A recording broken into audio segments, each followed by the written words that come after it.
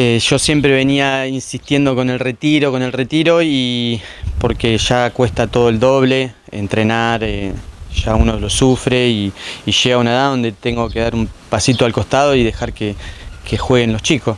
Ser que decidí, me llamaron lo de la comisión, eh, yo ya venía jodiendo con el tema de que me gustaría ser DT y bueno, tuvimos una reunión y por suerte llegamos a un acuerdo y voy a arrancar ahora a ser el técnico. Bueno, siendo el técnico, también hay que preparar todo lo que tiene que ver con eh, las demás partes del equipo. ¿Ya hay algunas decisiones tomadas? Eh, mira, eh, me confirmaron anoche. obviamente uno ya en la cabeza tenía algo visto. Yo ya venía hablando algo con Fran, así que bueno, estaremos ahora en campaña en, buscar qué es lo que hace falta, y, pero la idea más es, es eh, enfoguear los chicos del club, viene, viene estos chicos de la manzanita tienen muy buen nivel y ya han estado jugando en cuarta, en primera, así que eh, vamos a foguear los chicos del club, que es lo que más queremos hacer.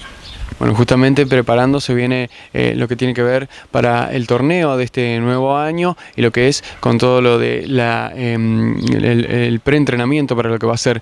Eh, ¿Se tiene decidido ya cuándo va a ser la fecha de inicio?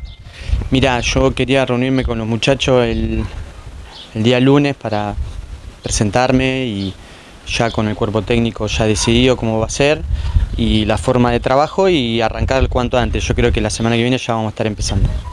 Bueno, ¿alguna expectativa, algún objetivo a cumplir eh, para lo que tiene que ver con esta nueva campaña eh, que se va a afrontar durante este 2020?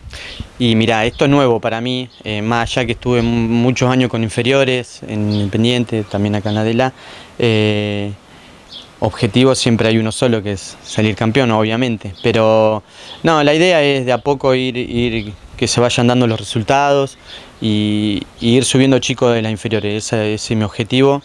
Eh, no depender tanto de gente de afuera, ni de traer jugadores que te cobren, ni nada, porque ahora la verdad que el fútbol de Río Colorado se ha divirtuado mucho en ese tema, el tema de los pagos de los jugadores y, ya como que uno pierde las ganas de jugar y ya lo hace económicamente. Pero bueno, eh, la idea de acá es, es foguear la gente del club y, y que bueno, y que me dejen trabajar, obviamente, yo creo que la comisión, el Facha, el Tato, gente muy buena, donde ellos directamente no se meten mucho, no opinan, obviamente, uno escucha, pero, pero bueno, vamos a ver, espero que sea un buen año.